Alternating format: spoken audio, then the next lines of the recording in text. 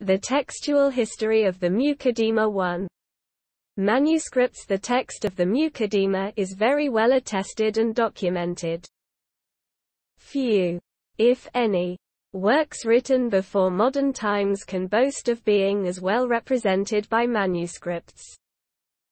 Four manuscripts written during Ibn Khaldun's lifetime exist in Turkey alone. Two undated ones also exist, which were W written, at the latest, shortly after his death. Manuscripts written during an author's lifetime may, of course, contain an inferior text. But in this particular case the quality of the old manuscripts is, in general, very high. One of them, a, is a copy presented to the library of the ruler of Egypt, apparently by Ibn Khaldun himself. Another, b, was written under Ibn Khaldun's eye by his proven amanuensis who may also have been a friend and admirer. A third copy, c. bears testimony to its accuracy in Ibn Khaldun's own hand.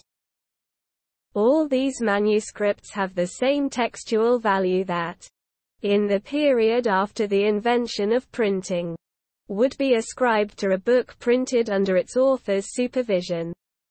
There may be occasional mistakes, but a carefully written manuscript usually compares favorably with a printed text. Most manuscripts of this type may be confidently regarded as authentic copies of the text. And any factual mistakes or miswriting they contain may be considered the author's own.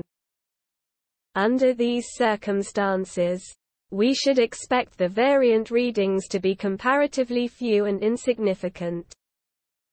Collation shows this to be, indeed, the case. There does exist a great number of very considerable variations among the texts. But these are not variant readings in the ordinary sense.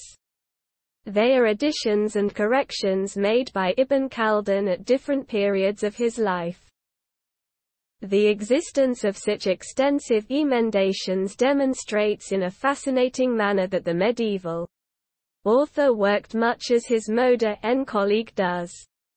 Once the text of the Muqaddimah is established with the help of the extant manuscripts, the principal result will be found to be the light it throws upon the history of the text in the hands of its author. In translating the Muqaddimah a certain amount of duplication is unavoidably caused by the existence of an earlier and a later text. Though it would be desirable to translate all variations of the different texts known to have been seen by the author, such an undertaking is impracticable, if not impossible, for a work as long as the Muqaddimah.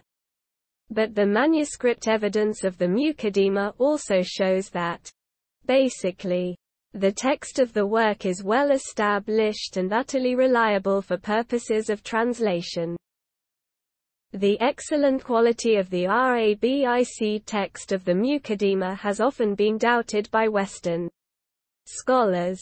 But it is an indisputable fact. Such textual difficulties as do occur would not in any case, be cleared up by a complete collation of manuscripts. In preparing this translation, IHAVE therefore collated only some of the outstanding ones. An exhaustive utilization of all the manuscripts can be expected in the forthcoming edition of the Muqaddimah by Muhammad Tawit at Tanji who has already published the text of Ibn Khaldun's autobiography. 118 Since at Tanji has traveled widely in search of Muqaddimah manuscripts. His edition will surely make it possible to elucidate their interrelationship and to clear up the many problems connected with their history. The following remarks should be considered as entirely provisional pending the appearance of at Tanji's edition. Earlier scholars who have dealt with the manuscripts of Ibn Khaldun 119 have often had to rely upon incomplete or second-hand information, and therefore their statements are sometimes more than a bit confused. In order to avoid this danger so far as is within my abilities, I have restricted myself to manuscripts that I have seen myself, with the single exception of the Fez manuscript. Needless to say, my remarks are subject to such revision as a more thorough study of the manuscripts than I was able to undertake may one day make possible. During my stay in Turkey in the summer of 1952, I consulted the following manuscripts of the Muqaddimah library where located in Istanbul unless otherwise MS designation noted. Süleymaniye Nuru Osmaniye Topkapusaray Atif Effendi Ragib Papa Murad Molla Millet Library. University Library Orhan Kami. Bursa, Brusser, ESAD 2418 Damad Ibrahim 863 Rice El Kutip equals Abi 679 Halat F 617 3423, 3424, 3065, 3066, 3067, 3069, 3070 Ahmet 3. 3042, 1936, 978 Hamidiye 982 Hekamoklu Ali Papa 805 Mega Siemens R 2743 Hussein Chelebi 793120 The large number of manuscripts of the Muqaddimah in Turkey reflects the great interest of the Ottoman Turks. 121 From this point of view, practically all the manuscripts are of considerable historical import. Here, however, only the oldest and best manuscripts will be briefly described. The letters in the margin are the sigla by which the manuscripts will be designated whenever they are referred to. The identification of the manuscripts in this web edition appears in bold. Closing parenthesis. A. 1. M.S. Damad Ibrahim 863. The manuscript contains 433 folios and is not dated. It clearly seems to have been written by the same hand that wrote MS Damad Ibrahim 867, which contains the sixth part of the Abar. The latter manuscript is dated Safar 4. 797, November 29, 1394.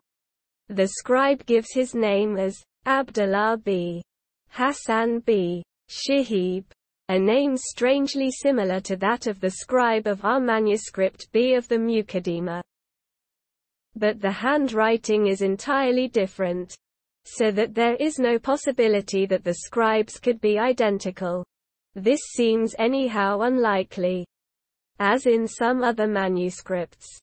The text of A is distributed over two parts with separate title pages and tables of contents. Part 1 contains the beginning, up to and including chapter 3, while Part 2 contains the rest of the work. The title page informs us that the manuscript was written for the library of Ibn Khaldun's patron, the Mamluk ruler al-Malik Az Zahiri with the given name of Barkok, 1382-99.122 in the manuscript, Fols. 7 BFF. The work itself is dedicated to Barkok in a long and sincerely affectionate dedication. Ibn Khaldun even changes its title to include the name of his benefactor. Az Sahel Fi el, Abar by Akbar al Arab wa el, Ajam wa el Baba are. Also, at the end of the first part, Fol 235a, and at the end of the second part, reference is again made to the new title Az Zahiri. This is further evidence that the manuscript was written during Barkik's lifetime.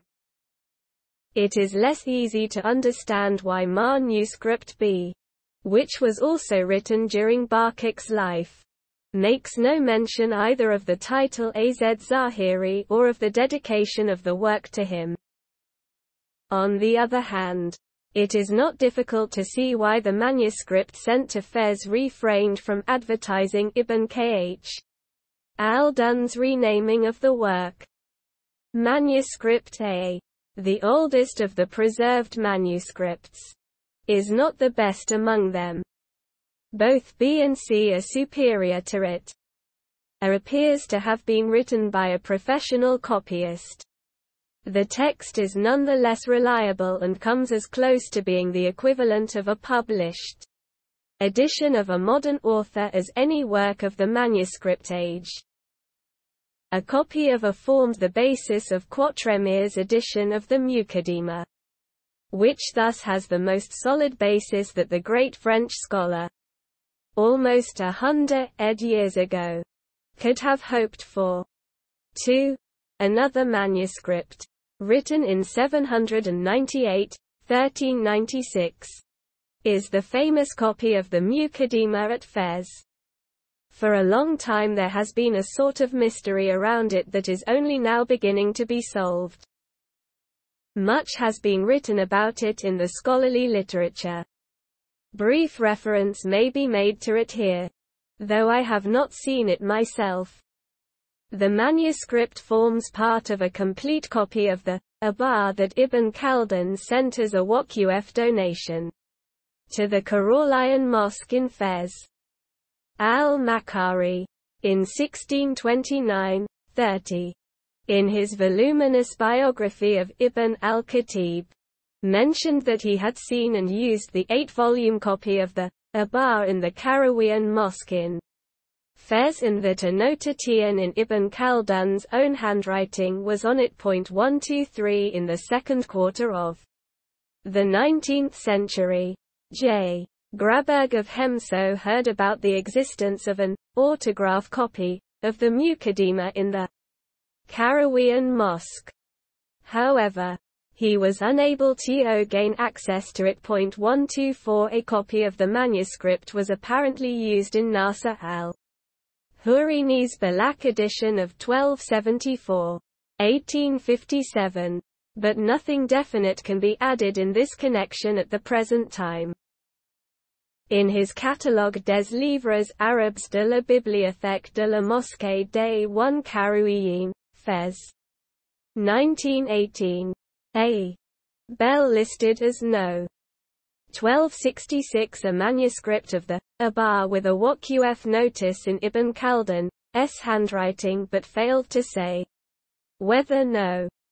1270, which he listed as containing the Muqaddimah, belong to the same set or not. 125 Following up Bell's lead.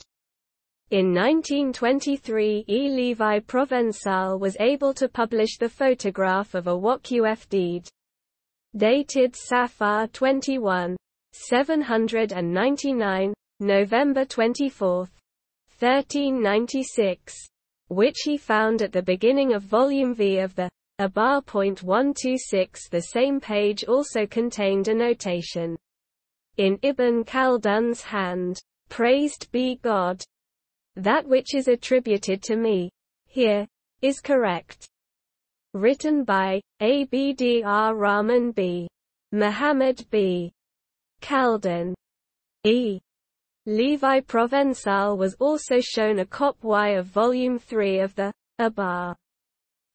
However, he was unable to obtain any information as to the Muqaddimah manuscript of this set. The scribe of the manuscript seen was Abdullah b. al-Hassan Walad al-Fakuri, who also copied manuscript B. In 1930, G. Bouthoul Street ATED that he had examined a two-volume copy of the Muqaddimah in Fez. It was, he said, written in Maghribi script and contained poems in the vulgar language at the end. Some of which had been composed by Ibn Khaldun in his youth. 127 These statements have not been verified. In his reprint of de Slane's translation of the Muqaddimah, Bouthoul published as a frontispiece to Volume E, Paris. 1938. A reproduction of the Waqf notice which, he said, appears at the front of the copy of the Prolegomena. However, the photograph turns out to be merely another shot of the same page that had been reproduced before. By E. Levi Provençal. There are, however, other indications that the copy of the Muqaddimah from Ibn Khaldun's Waqf set of the Abar is, in fact, preserved in Fez. Recently, A. J. Arberry informed me that he was shown a two-volume copy in Fez. However, I was assured in Fez in 1963 that the Muqaddimah is lost. B. 3. M.S. Yeni Kami 888. The manuscript contains 273 large folios. One folio, comprising 3 to 449, 1. 20 to 3 to 4641. 17 of this translation is missing. The manuscript is dated Jumada 110. 799, February 9, 1397. The scribe was, Abdullah H. B. Hassan B. al-Farquhar, who also copied the Fez set in the Ayah Sophia and Topkapi copies of Ibn Khaldun's autobiography.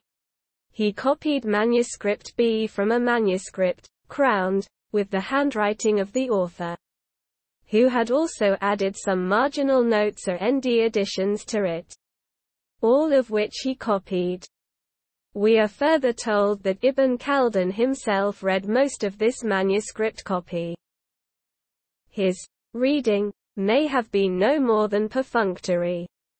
There can be no doubt, however, as to the excellence of Ibn al-Farquhar's work.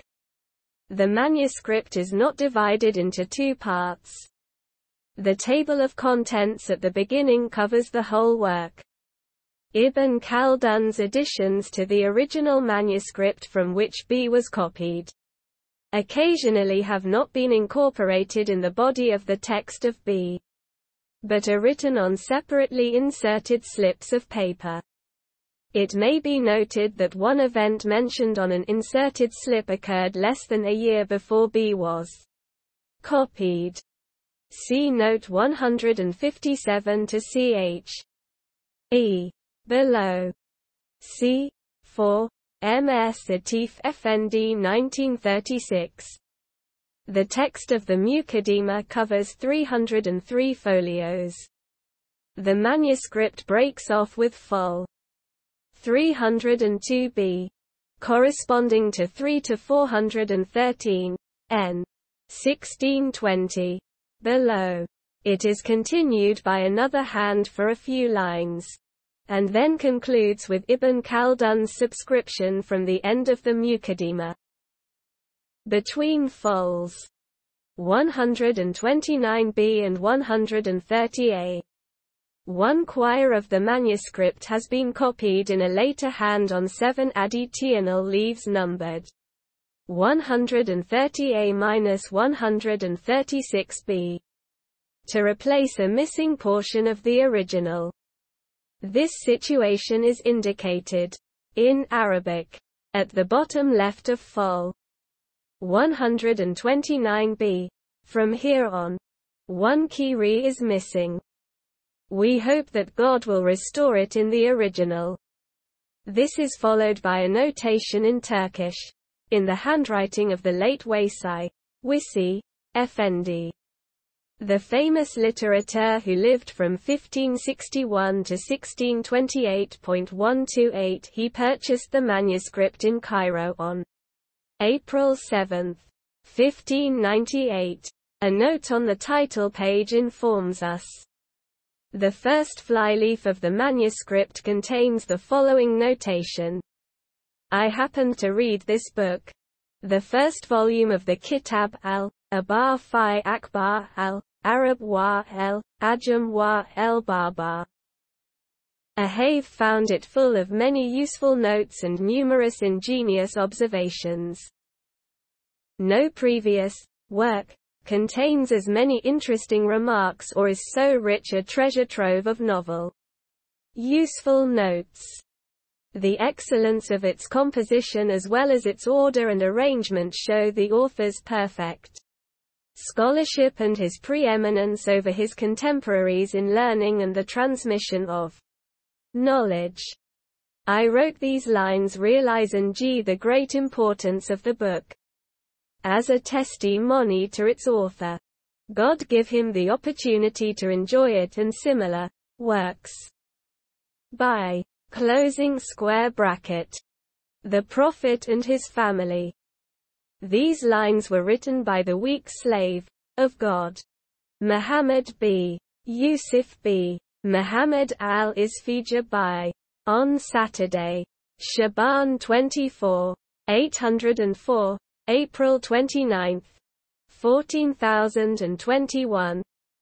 In the upper left-hand corner of the title page appears the following note in Maghribi writing.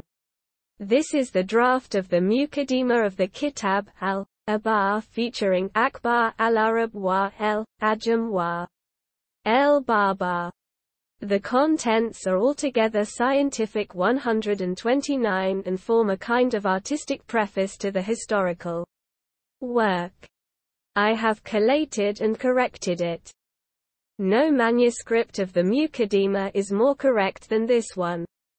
Written by the author of the work, Abdr Rahman ibn Khaldun.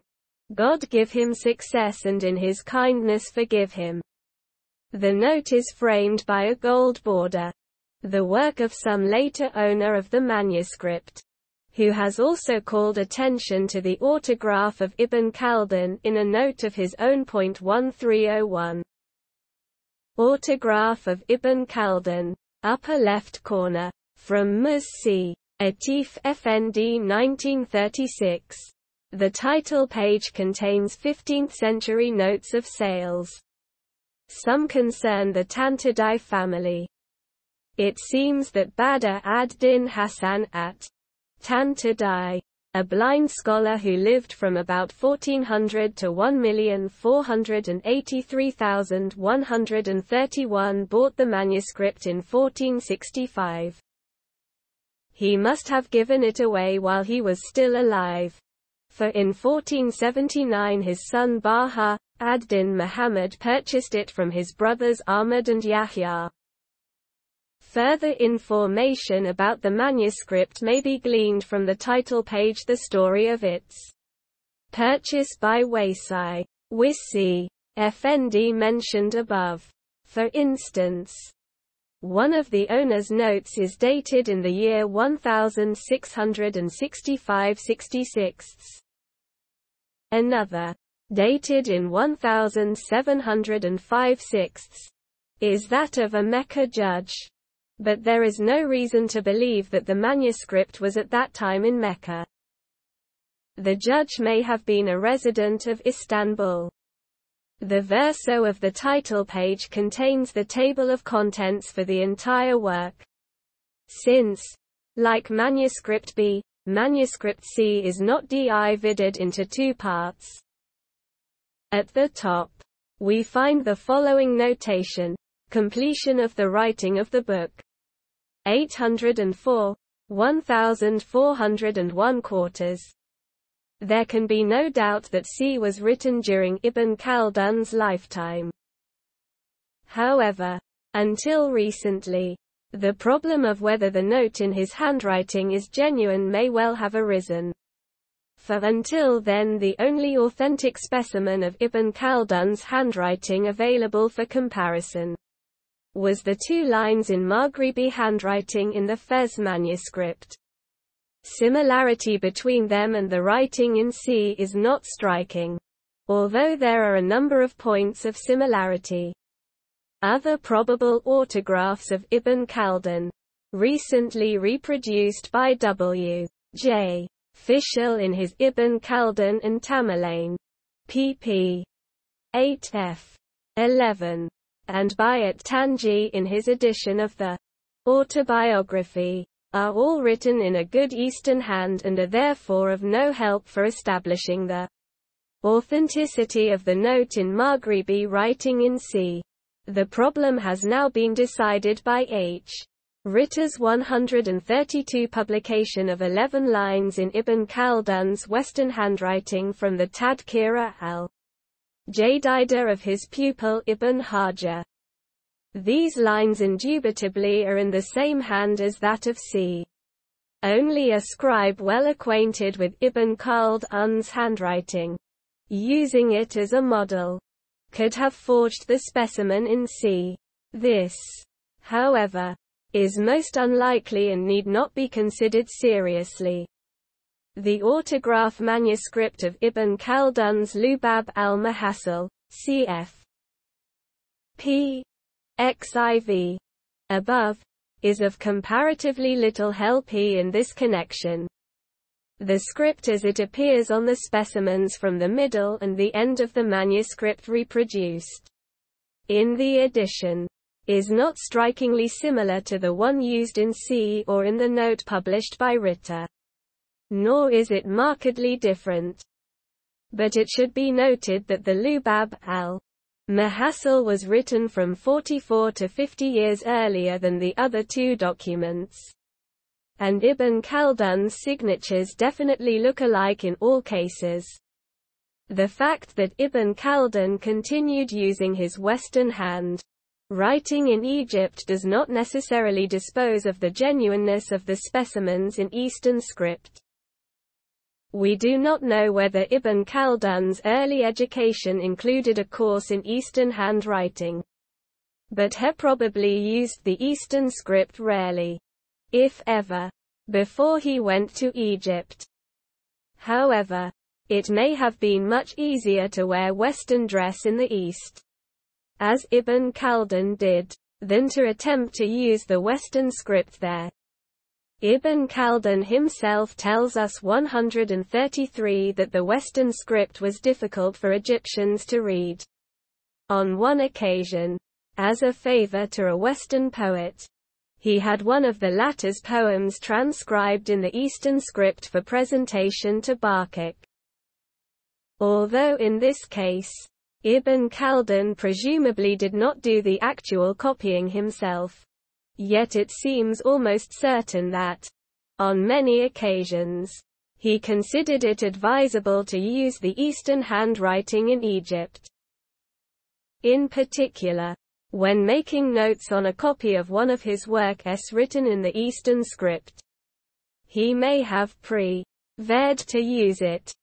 There are obvious traces of Western calligraphic style in the presumed specimens of Ibn Khaldun's Eastern handwriting, especially in the forms of S and D.134 however. If Ibn Khaldun did not have considerable previous experience in writing an Eastern hand before coming to Egypt and this seems doubtful it is remarkable that a man past Phi Fty succeeded so well.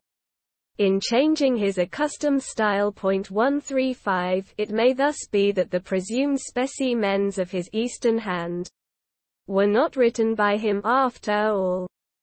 The text of C contains many of the additions and corrections that constitute the later stages of the text of the Muqaddimah. Most of them were written by the writer of the entire manuscript. Unfortunately, the name of the scribe is not given. But, of course, he was a person other than Ibn Khaldun. How are we to interpret the historical data just reviewed? The most likely explanation, which, however, still involves guesswork, seems to be as follows. Manuscript C was copied in 804, 1401 halves, from an Irlai text of the Muqaddimah. Presumably Ibn Khaldun's own copy. The additions and corrections found in it were transferred verbatim to C by the same scribe. 136 Ibn Khaldun had indicated on his copy the year 804 as the date when he had stopped working on the Muqaddimah, for the time being, at least. Later in the same year, Al-Lsfi Jabi, probably the first owner of C, affixed his admiring note at the beginning of the work. After reading it, Manuscript C was used in later centuries as model for other copies. For example, Nuru Osmaniye 3424, which was copied by a certain Mehmet Muezzinzadeh for Ali Pasha. D. 1716. 137 and which is stated Rabi, 1 4. 1127, March 10, 1715, has the same lacuna at the end as c. The same is true of the manuscript which in Quatremer's edition was referred to as A138 though it remains to be seen whether that manuscript was copied from our manuscript C directly or indirectly. The manuscript Hamidiyeh 982 contains a note to the EFFECT that it was collated with the Atif Effendi manuscript, that is, with c. by a certain Hajj, Abdr Razak in 1177, 1763 64 cf. below. p. XCIX. D. 5. MS Hussein Chelebi 793 in Bursa, Brusser. This manuscript was noted in Une liste des manuscrits ch oisis parmi les bibliothèques de Bursa. Publié à l'occasion du 22. Congrès International des Orientalistes, Istanbul. 1951 page 49. The catalogue number and the date of the manuscript are not, however, correctly designated on this list. Dr. Ahmed Atist FIRST called my attention to this manuscript. The manuscript contains 239 folios. It is dated Wednesday, Shaban 8, 806, February 20, 1404. The name of the scribe is given as Ibrahim b. Khalil as Sadi Ash Shafi al-Misri. On its title page it has an own Ars note dated in the year 850, 1146 47 Written by Yahya b. Hiji Ash Shafi, of the famous family of scholars starting early as a student and bibliophile. He was only 12 or 13 years old when he wrote the note in manuscript D. He died in 888. 1483. 139 Ibn Hiji's note would seem to make it practically certain that D was indeed written in 806 and is not a later copy of the manuscript written in that year as might well be possible otherwise. For it must be pointed out that D, despite its date, is not an exceptionally good manuscript but contains a number of omissions and a great many other mechanical mistakes. Manuscript D clearly was based on C, or was derived from the archetype from which C itself was copied. This origin is indicated for instance, where D inserts a meaningless man Yaksidu after Ryria at volume 111, page 68, line 6, of the Paris edition, in this translation, 3 to 86, 1. 19. Below. In C a mark after Ryria indicates that a marginal note is to be added at this place. However, Man Yaksidu does not belong there. It is to be inserted after Wa cast in line 15, 3 to 87. 1. 5. Below. Where the fact that it was omitted is indicated by another omission mark after Wa. Cast. The intended marginal note to Ryria apparently was never written. Manuscript D had subsequently a rather curious history. The original colophon of the year 806 was frequently included in later copies. And the Shea copies were mistaken for the original .140 thus. Nuru Osmaniye 3423 has been mistaken for the manuscript of 806. But script and paper exclude the possibility that it was written in the 15th century. In fact, its similarity to Nuru Osmani A3424 mentioned above p. XCVII dates it in the early 18th century. Another copy of D is the manuscript Hekimoglu Ali Pasa 805 which has a flyleaf notation to the effect that it was written in 1118. 1706 sevenths. For one Abu 1 Kir Ahmed. The second part of the manuscript Halat Effendi 617 is likewise a copy of DE 6, MS Ahmet 3. 3042. Volume 1. The manuscript contains 297 folios. It is not dated but has a N owner's note of the year 818, 1415 16ths, in the name of one Muhammad b. Abdr Rahman ad Darib. Consequently, it must have been written in or before that year. The manuscript is important because Apart from the basic text of c. It is the only Old Manuscript IPT available that contains an early form of the text of the Muqaddimah. Another volume found under the same catalogue number con. Tains Ibn Khaldun's personal copy of the autobiography. 141 It was written out by Ibn al-Fakkar. Cf. Above. p. 92. However, if my memory does not deceive me, manuscript E is in a different hand. 7. MS Halit Effendi 617 consists of two parts. In 235 and 181 folios. Respectively. The second part has already been mentioned as a copy of D. The first part, however, dates back to the 15th century. It has an owner's note in the name of a Muhammad b. Muhammad b. al-Kasawi. Dated 853, 1449. 8. MS Ragib Pasa 978 contains 382 folios. It is of recent date no earlier than the early 18th century.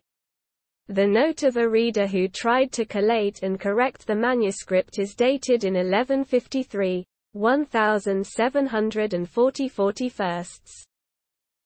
One of the marginal notes in the manuscript refers to Az Zurkani, the commentator of Malik's Muwatta, who died in 1122, 1710. This manuscript, the text of which has yet to be studied, is interesting because it contains occasional marginal notes originat ing from a manuscript written by a certain al-Qatari, claimed by him to have been copied from the original manuscript. This Qatari evidently was the Abu S. Salam Muhammad al-Hanafi al-Qatari who wrote the manuscript. Nuru Osmani A 3066 Dated Monday. Do 1 QA backquote DAR 14. 1082. March 13 14th. 1672. In another Nuru Osmaniye Manuskia IPT.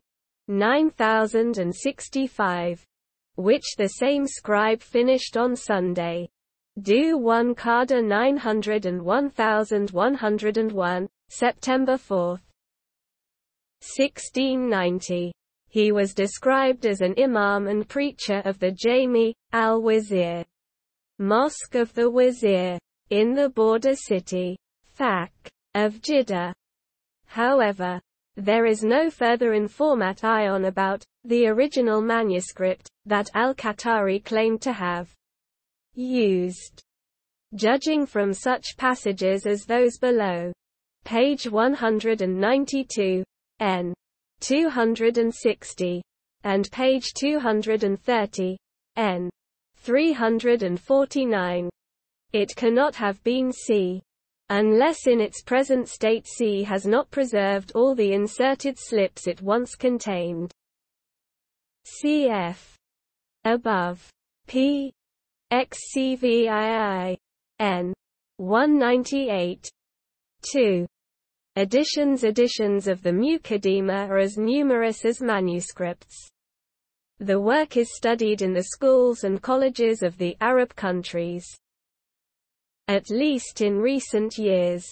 It seems that each year produces a new reprint of the text. But most of these editions are worthless.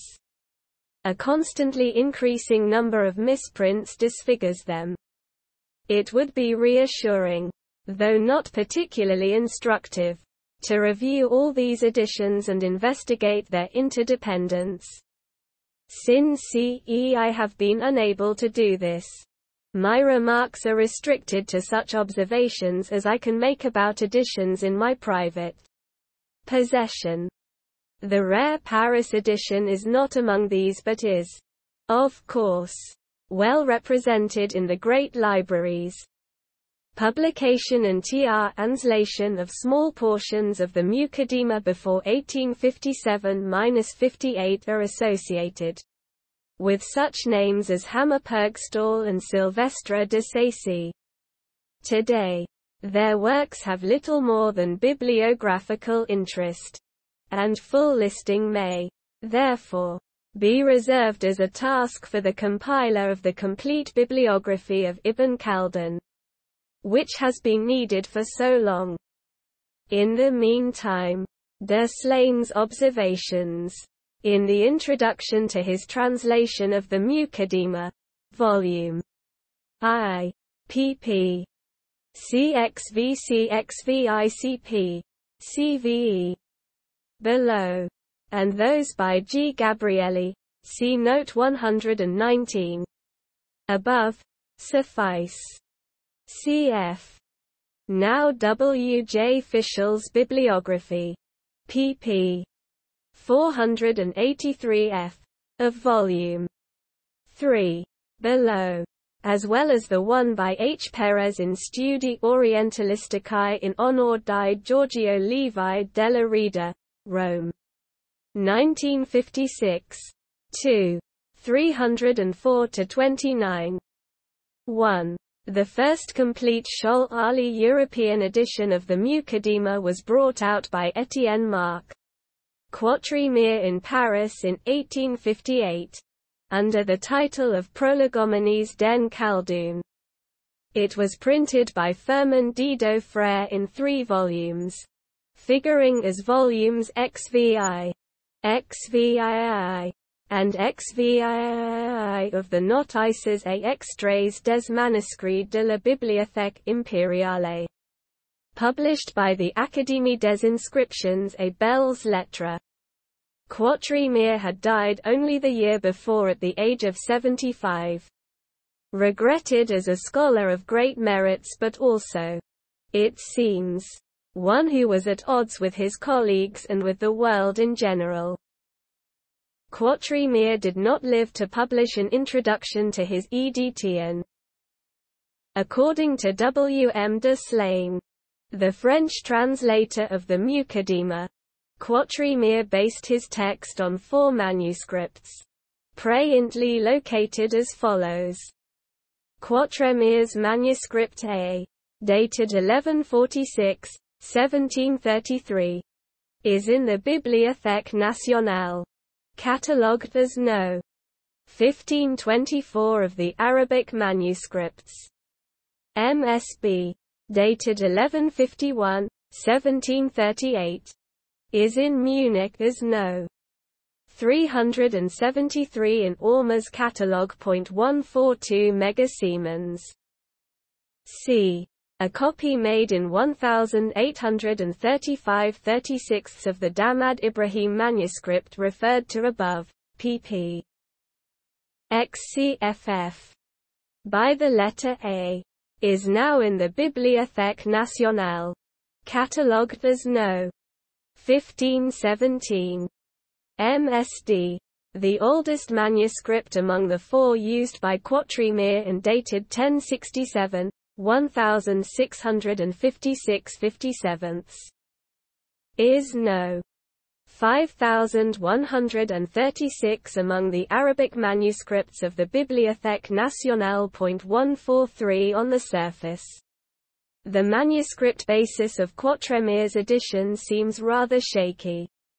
However, Quatremer was fortunate in being able to use a copy of the oldest extant manuscript, our A, which, apparently, was very reliable.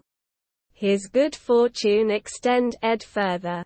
In that among his manuscripts he discovered the last and most complete text of the Muqaddimah as it came from Ibn Khaldun's pen. Thus, he was able to offer in his edition a good complete text. The only exception to this statement concerns some particularly difficult passages such as the poems at the end of the Muqaddimah, where Quatremer's edition fails us completely. That his edition includes a good number of minor misprints may be blamed. In part, on the fact that the printing firm chosen by Quatremer did not specialize in printing long Arabic texts. However, few printed editions of Arabic texts are free from misprints. The misprints in Quatremer's edition though numerous, do not amount to much as a major shortcoming of his edition. The PR principal reproach to be laid against him is that he neglected to indicate textual differences and variant readings among his manuscripts as accurately and carefully as we could wish. These may have seemed of small importance to him, and they often are. However, he made it difficult for later scholars to judge the quality of his work correctly. As a matter of fact, Quatremer's edition has often been maligned unfairly, and still is undervalued at the present time. The editor's negligence in indicating manuscript variants is part of the reason. The obvious fact that the manuscripts used were of recent date has also aroused mistrust. However, it should be stated bluntly that much of the unfair treatment meted out to Quatremer's work must be laid at the door of William MacGuckin de Slane, the French translator of the Muqaddimah, with an unusual pettiness, such as betrays some personal grudge. De Slane went so far as to note even the most minor and obvious misprints in Quatremer's edition and treated him as major, damning blunders in the footnotes to his translation. He left no doubt as to how poorly he regarded Quatremer's work. And de Slane was supported in this view by Dozy, who wrote an influential review of the translation. In his review, R. Dozy brushed de Quatremer's edition aside as a product of the scholar's senility. Between them, De Slane and Dozy set the stage for an unfriendly reception of Quatremer's work. It has been more for this reason than for any more solidly based one. That doubts concerning ng the quality of Quatremer's text have been voiced and demands for a new edition raised. While a new edition will mean a great step forward, it will not expose major factual defects in Quatremer's text. 2. While Quatremer's edition was still in press, an Egyptian edition of the Muqaddimah appeared, which had been printed at Bulaq near Cairo. Finished in Safar. 1274. September, October. 1857. It was printed in a very large format and succeeded in compressing the entire text to 316 pages. The editor was Nasser al-Hurini, d. 1874, 144 an Egyptian scholar of considerable merit. Although it was intended to form the first volume of a complete edition of the Abar, only the Muqaddimah was published at this time. To judge by occasional marginal notes, Al-Hurini apparently used two manuscripts which he called the Fez and the Tunis manuscripts. Of course, there is no consistent indication of variant readings. Al-Hurini often corrected the text according to his own judgment, a fact de Slane noted in the introduction to his translation, pp. CIXF. Indeed, it seems that in practically all instances where the Bulaq edition diverges from the manuscripts that have come to my attention, we have to reckon with free corrections by the editor. Sometimes his text gives the impression of being superior, but this superiority lacks documentary confirmation. Only in a few passages, as, for instance, 3 to 235 and 3 to 446, n. 1813. Below. Do we find indisputable instances of a superior text in the Bulaq edition? Thus, the text of the Bulaq edition may usually be disregarded even where it is tempting to rely on its lectio facilior. Final judgment on it, however, should be postponed until the entire manuscript evidence has been thoroughly investigated. However, Bulaq has some importance of its own by virtue of the fact that it provides the earliest text of the Muqaddimah presently available in printed form, with the fewest number of THE authors' later corrections and additions. The Tunis manuscript preserves Ibn Khaldun's original dedication to the Hafsidi ruler. The Fez manuscript appears to go back to Ibn Khaldun's donation copy, CPP. XCIFF above. In these respects the Bulaq editi on supplements the Paris edition which represents a much later stage of the text of the Muqaddimah. 3. Ten years later. In 1284, 1867 68 The complete text of the Abar was published in Bulaq in seven volumes. The first volume contains the Muqaddimah in 534 pages. The text is identical with that published previously and even retains al-Hurini's notes. However, it may be noted that in the chapter on letter magic, the new edition contains the magical table between pp. 436 and 437, and some of the material on magic that had been omitted from the first Bulaq text, pp. 255 to 57. So far as the quality of the text of the rest of the Abar is concerned. It clearly leaves much to be desired. 145. 4. All later Oriental reprints. So far as I know, are based upon the Bulaq text and take no cognizance of the Paris edition. One very successful reprint of this sort was undertaken in Beirut in 1879 and published early in 1880. I have before me a second, identical edition of the year 1886. The technically very ambitious project of publishing a fully vocalized edition of the Muqaddimah in Ussum Scholarum was also undertaken in Beirut. 146 I have before me a photo-mechanical reproduction of the vocalized Beirut edition. This reproduction was put together in the printing house of Mustafa Muhammad in Cairo. And although it is not dated, it must be about 20 to 25 years old. The publisher does not indicate the origin of his text but states on the title page that he is reserving all rights for himself and that his edition has been checked by a committee of scholars against a number of manuscripts.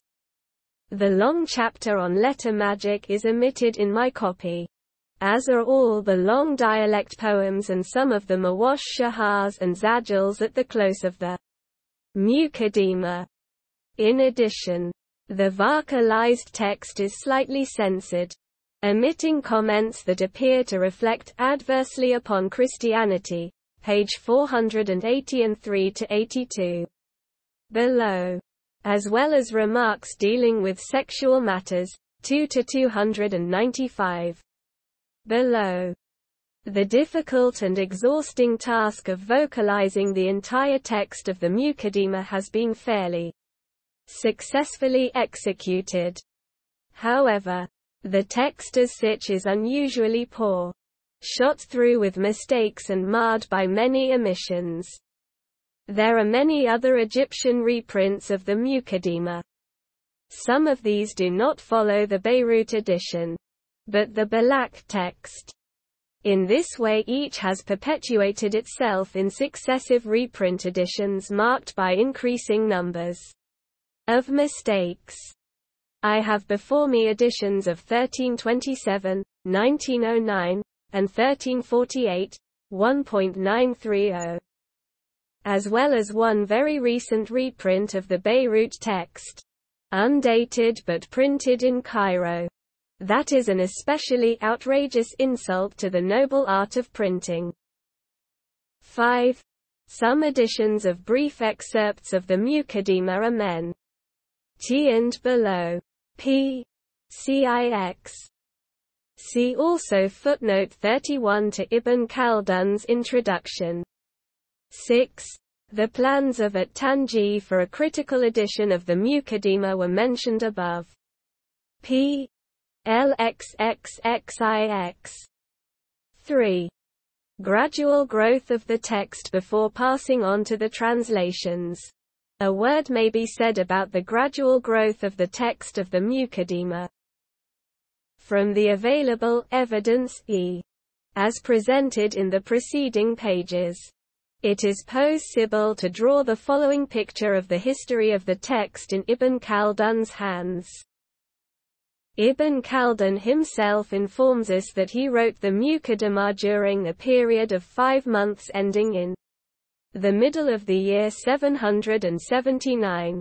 November 1377. C 3 to 480. Below. He was far from any large library and had to rely largely on his memory and notes. He then went to Tunis, where he had access to the books he needed to consult, and there he finished the entire history. He pray entered a copy to the Hafsidi Abu I. Abbas of Tunis. 1370-94.147 It is possible that one of the manuscripts on which the Bulaq edition was based contains this oldest text. But none of the available manuscripts or editions has it. The earliest texts at present available are those of the Bulaq edition and manuscript E but since they already contain indications of Ibn Khaldun's stay in Egypt, they can be no earlier than 1382. Ibn Khaldun's habit of correcting and expanding the history continued while he was in Egypt. In one particular case it is expressly stated that Ibn Khaldun lectured on the Muqaddimah in Egypt 148 He probably devoted more time to his work when he was out of office than when he was judge. But he never ceased trying to improve the Muqaddimah or collecting additional material for it. Even when in Office Point 149 he was constantly reading pertinent material and even had Egyptian Bedouins recite poet write to him. 3 to 438 f. Below. But it seems that, primarily, the material for his additions and corrections derived from his lectures on the Muqaddimah and other subjects. This would explain why the sections dealing with traditions and jurisprudence subject S on which he lectured ex officio and in which his students were professionally interested, show the most numerous traces of larger and smaller revisions. It would be wrong to consider the successive stages of the text of the Muqaddimah as recensions in the proper sense of the term. For instance, Ibn Khaldun never changed the passages where he speaks of himself as still being in the Maghrib. His additions and corrections were jotted down unsystematically in a long drawn-out process. Much as a modern author might add notes in the margins of his published works. Ibn Khaldun's corrections rectify obvious mistakes committed earlier. As, for instance, in his treatment of the division of the Earth into zones, pp. 111 ff. Below. Or, in the case of quotations, T. supply a better text obtained with the help of some new source. An example is Tahir's epistle to his son. 150 Ibn Khaldun had already corrected his original quotation from Ibn al-Athir with the help of at-Tabari by the time A was written. And C still preserves the marginal corrections which later copyists entered in the body of the text. The table of contents at the beginning of the work, which treats the Muqaddimah as an independent work 151 must nonetheless have been added by the author at an early stage for it appears already in A. Ibn Khaldun also adds quotations from works he has come across in further reading. As a sort of afterthought. Or, he expands and changes the text. Because it no longer seems to express adequately or fully the ideas he has in mind. A minor instance of this kind of correction, or revision, can be found in a passage where Ibn Khaldun thought it advisable to tone down a strong expression of monistic mysticism. 2 to 398. Below. The most prominent emendations in the text of the work are of this kind. Although there are not a great many of them. An outstanding example of Ibn Khaldun's concern for clear expression is the very considerable enlargement of his introductory remarks to the sixth chapter, dealing with the sciences, 2 to 411 ff. Below. The earliest text in which the experiment and adversion occurs is manuscript c. So it must have entered the text of the Muqaddimah between 1397 and 1402. This interval may perhaps be further restricted to the period between 1397 and 1399. Because Ibn Khaldun was there after extremely busy with official duties. However, it should not be forgotten that, even while on official business, Ibn Khaldun found time to study. In fact, the last dated entry in the Muqaddimah refers to reading accomplished during his stay in Damascus. In the spring of 802. 1400. 2 to 229 f. Below. and he found time to insert the note bearing upon it in manuscript c. A later stage. The latest we know of, in fact, is represented by the Bursa manuscript D of 806, 1404. It shows that Ibn Khaldun was still working on his book Tu Rs before his death. Characteristic of this stage in the development of the text of the Muqaddimah was his replacement of a distich near the end with another very beautiful one. 3 to 478. Below. It shows that Ibn Khaldun retained his fine appreciation of poetry up to a time of life when many men, and especially men of affairs, no longer give much thought to it. Point 152 that most of Ibn Khaldun's additions and corrections were in incorporated into the body of the text in the manuscripts written during his lifetime is shown by Manuscript D. This process did not always come off without mishaps. As a striking example below, pp. 365f indicates, in general, it is possible to show at what stage in the textual history of the Muqaddimah almost any addition or correction was made by Ibn Khaldun. Undoubtedly, if a manuscript of the pre-Egyptian recension of the work were to become available, still greater precision will D be attained. The history of the text of the Muqaddimah offers a classical example of how an author's variant readings originate and how they influence the traditional appearance of his work. 4. Previous translations. 1. The first complete translation of the Muqaddimah ever published was a Turkish version. In the year 1730 Pirizade Effendi, 1674. 1749, translated the Muqaddimah from the beginning through the fifth chapter. This Turkish text was published in Cairo in 1275. 1859. 153 inches a lithographed edition of 617 pages in large format. The translation ended on page 522. On the remaining pages, the work was completed by a reproduction of the Arabic text based on the first Bulaq edition.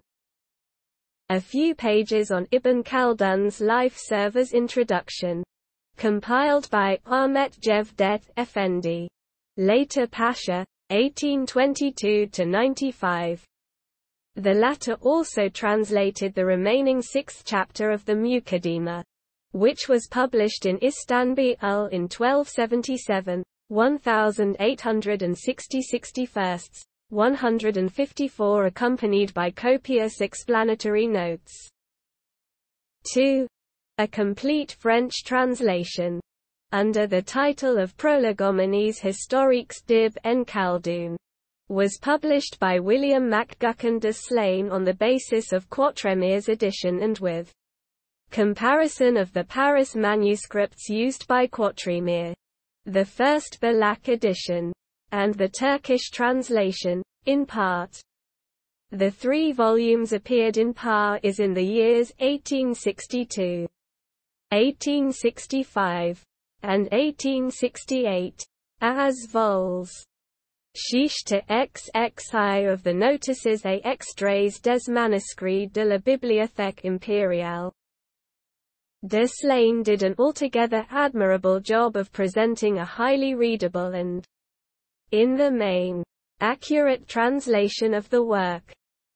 Tihi, freedom, of his version has often been unjustly censured. For it was intentional, and a free Translation is perfectly legitimate for a work with the stylistic character of the Muqaddimah.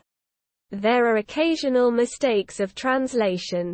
Some of them caused by the difficulty of the subject matter and the language. Others of a sort that might easily have been avoided. Explanatory footnotes are sparse. and de Slane usually did not bother to indicate the sources for his statements. However, the concluding woe RDs of R. Dozy's review of de Slane's work still stand. Rarely has so difficult a book been translated so well.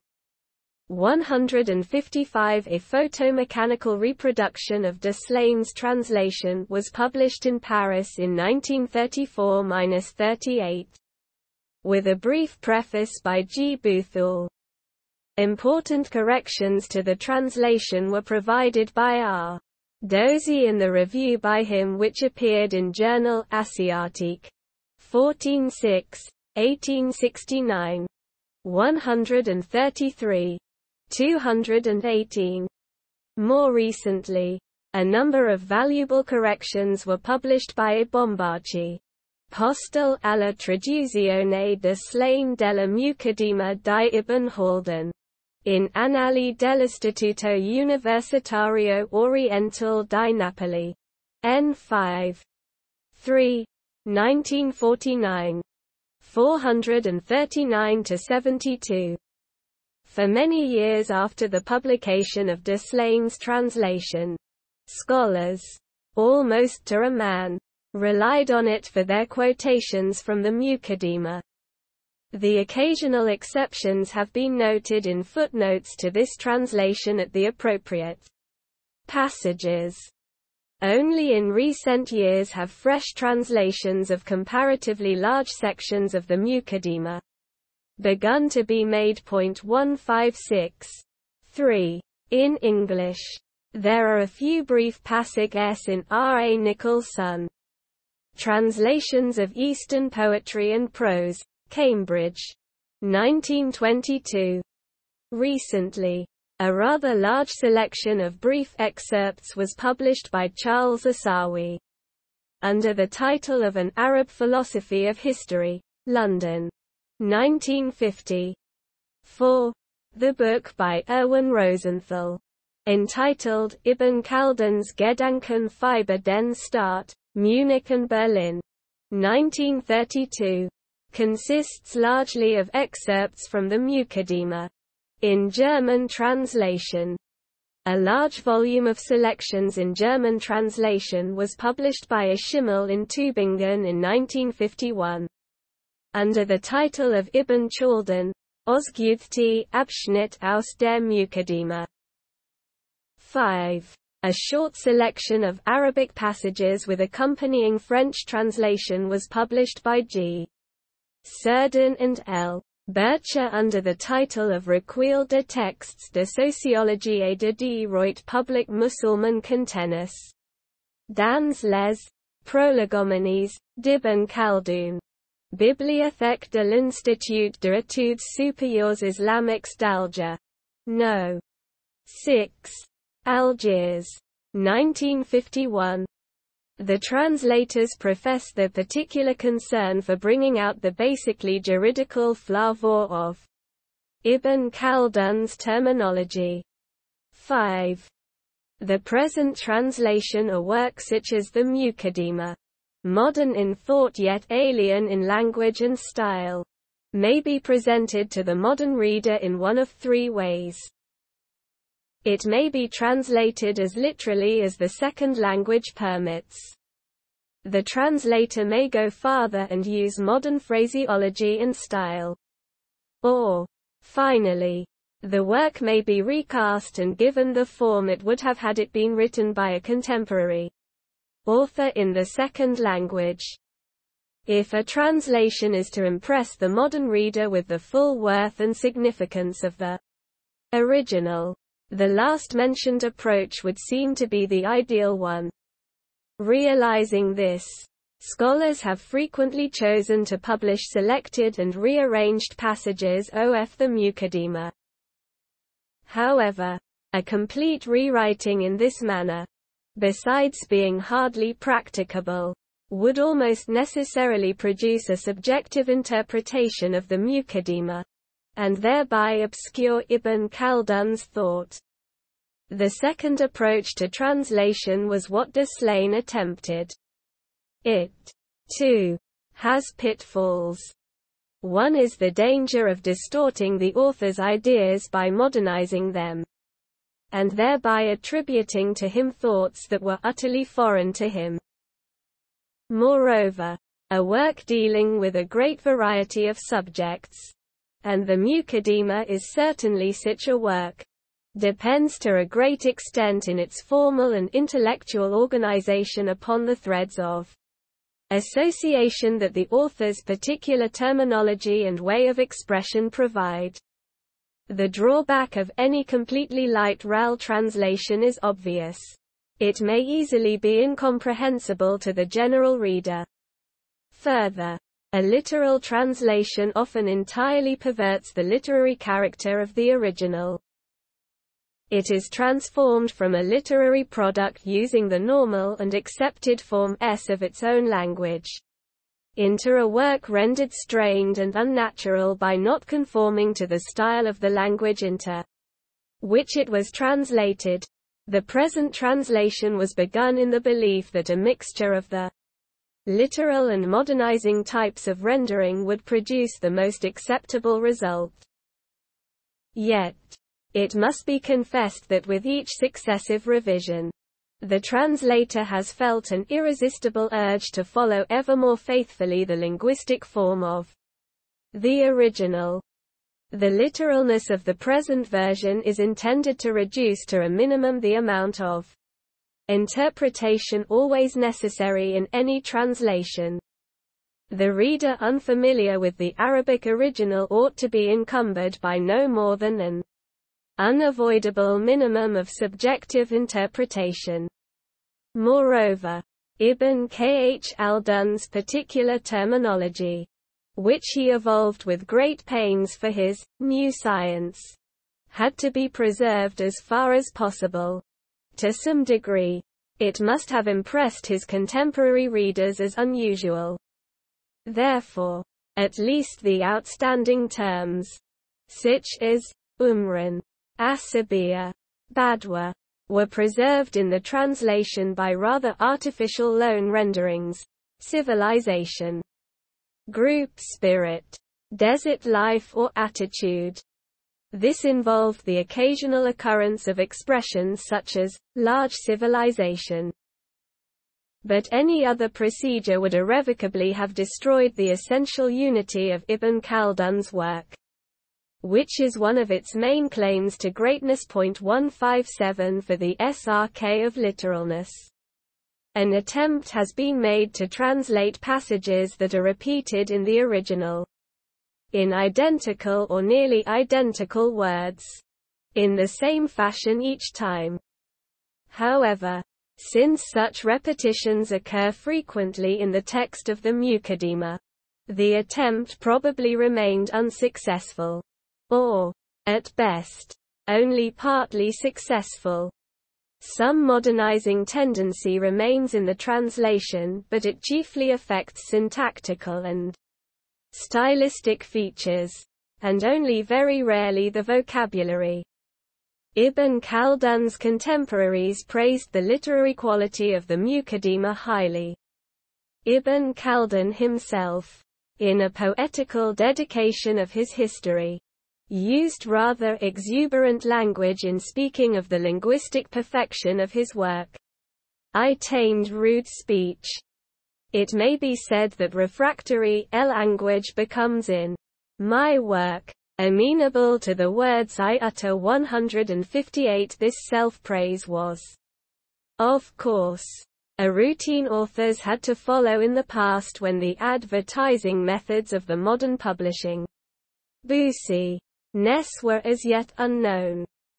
But others chimed in with their praise. The style of the Muqaddimah was said to be, more brilliant than well-strung pearls and finer than water fanned by the zephyr. It was called the Jahizian style, reminiscent of the verbal fireworks of al-Jahiz. The celebrated model of good Arabic style. 159 All these testimonies may have been rather perfunctory. Still, they certainly have some basis in fact. It is true, as has often been remarked, that Ibn Khaldun did not always adhere strictly to the accepted norms and rules of classical Arabic, which were artificial to him and remote from the speech habits of his time.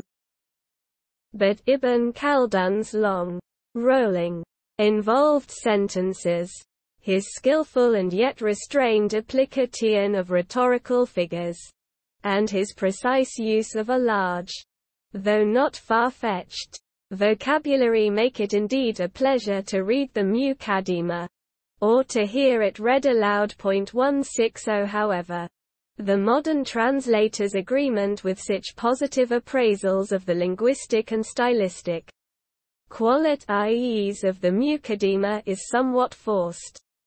For, alas, all the factors that enhance the beauty of the work in its original language and justified the ad admiration of Ibn Khaldun's contemporaries. Are so many thorns in the translator's flesh. His long sentences have constantly to be broken up into smaller units. And the cohesiveness of the author's style is thereby loosened. In keeping with a common stylistic feature of Arabic speech, Ibn Khaldun could repeat pronouns through whole pages thus confronting his translator with the task of supplying the appropriate nouns. Ibn Khaldun also was extremely fond of a threefold parallelismus membrorum, another source of embarrassment to the translator.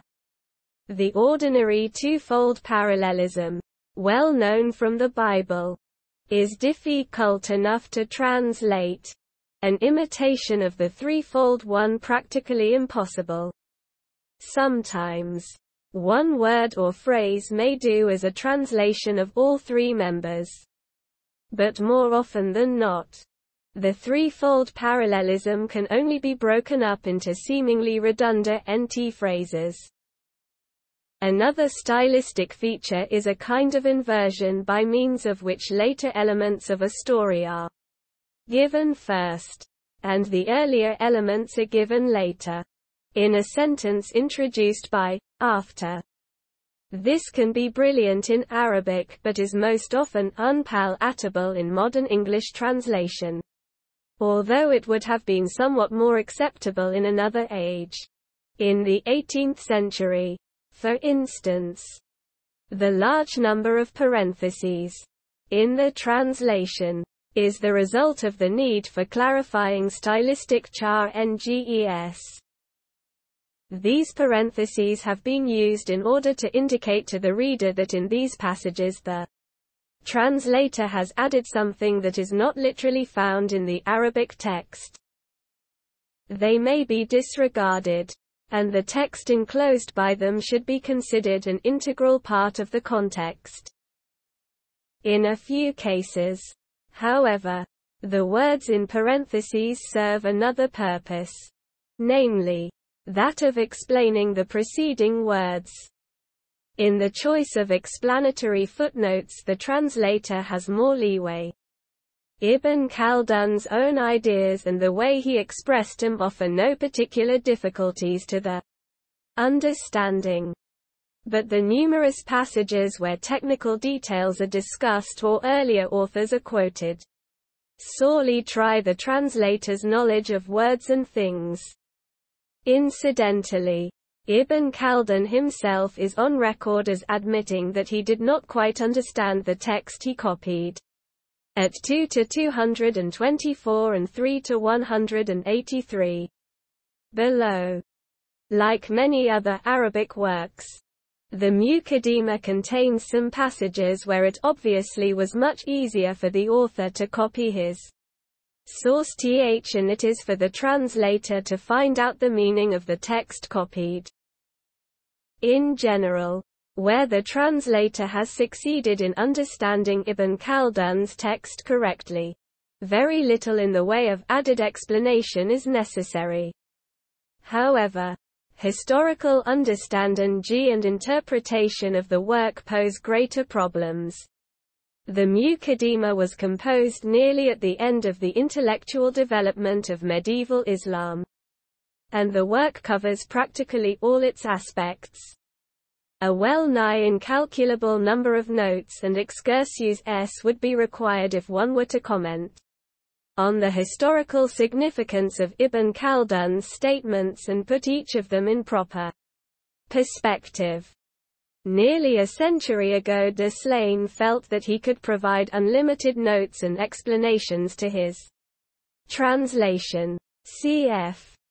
His introduction. P. E. But he refrained from doing so for the sake of brevity. In the end, he did very little indeed in the way of annotation. 161 since his time. The material that has a sound claim to consideration in the notes has grown immeasurably. A hundred years ago, very few printed Arabic texts existed, and nearly all the pertinent information was still buried in manuscripts. Even nowadays, when a good part of Arabic literature has become available in printed form, it is often necessary, in connection with the Muqaddimah, to refer to manuscripts. In fact, our knowledge has outgrown the stage where the historical problems of a work like the Muqaddimah, considered in its entirety, can be elucidated by means of footnotes.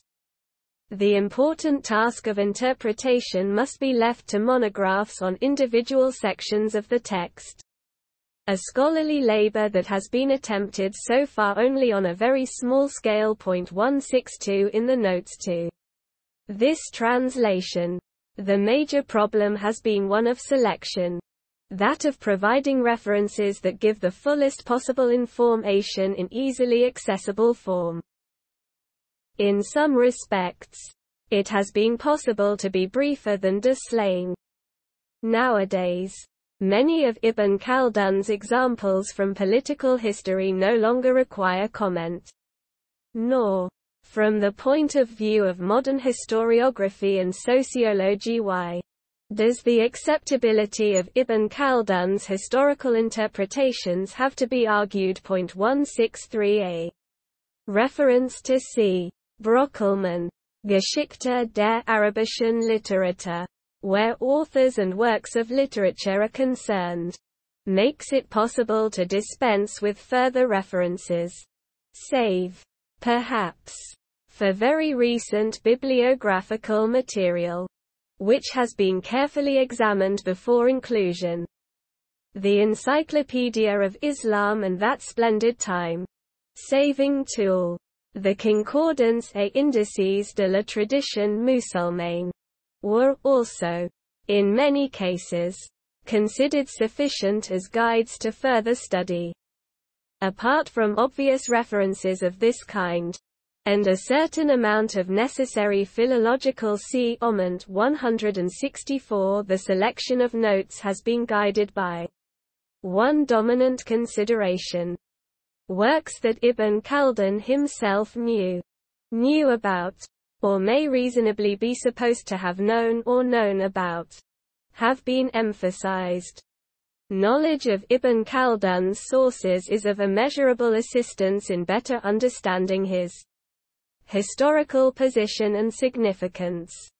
While a very small start in this direction could be made in the footnotes to this translation, I am convinced that this kind of comment should be given preference over any other.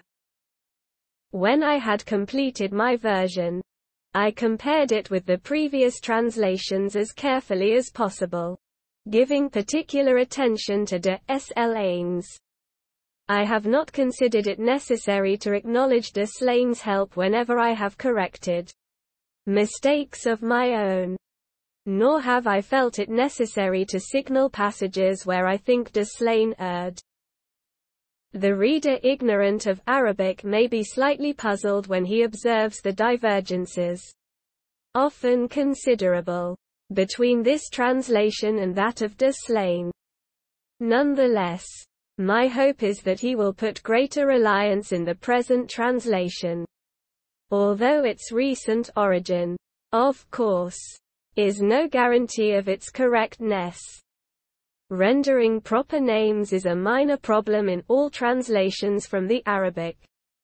As here. Arabic proper names can easily be transcribed.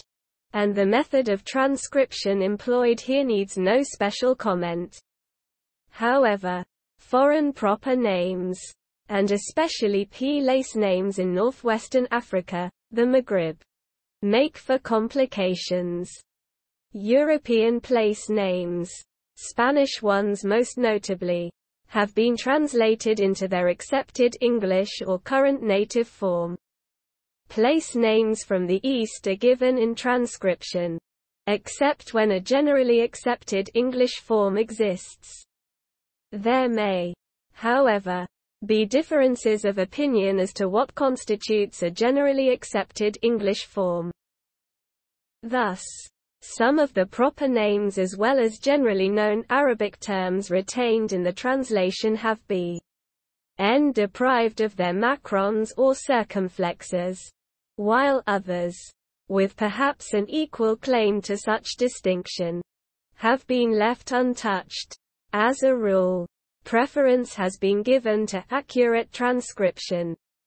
With a very few exceptions, place names from northwestern Africa have been given in what may be considered the most widely used and acceptable of the various French forms. Usually, a transcription of the Arabic form has been added. In the case of Berber names, we will know how Ibn Khaldun pronounced them. Once a study of the manuscripts of the Ibar has been made. For the time being, we know his pronunciation only in those cases where the manuscripts of the Muqaddimah and the autobiography indicate it, and his pronunciation has of course, been followed. In modern scholarly literature, there seems to be little agreement on the finer points of the transcription of ancient Berber tribal and personal names. Much more might be said about technical details arising out of the present translation. However, if they were wrongly handled, mere knowledge of that fact would not repair the harm done to nor, if they were correctly applied, increase by itself the usefulness of the translation of what has been called with little, if any, exaggeration. Undoubtedly the greatest work of its kind that has ever yet been created by any mind in any time or place. 165